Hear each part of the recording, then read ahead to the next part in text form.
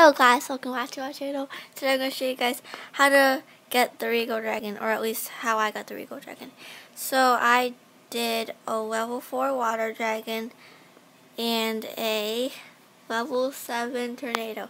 I know that's really, like they're on really low levels, but I don't know how I got them. So then you should get 16 hours, and here's the egg at 36 minutes, and here's it when it's done. And that's what the egg looks like. It looks so cool. Okay, okay. And then there it is, little baby Regal.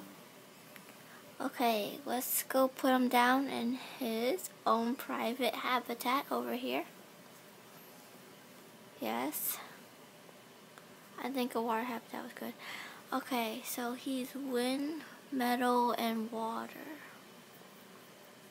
That's pretty good. Okay, now let's feed them up. And sorry if you guys can't hear me because uh, I moved to a different room. So I have to be a little quiet. Okay, now let's do a jump test. Oh, pretty good. That was a good jump test. Here's the last few foodies before he grows up. No, he has to work for this one. Let's fling it. Okay, and there's what Regal looks like when he's big. And I'm gonna keep on feeding him.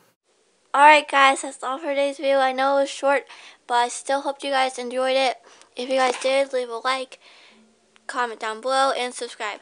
Bye! Sorry guys, I forgot I was supposed to be quiet, but still, bye.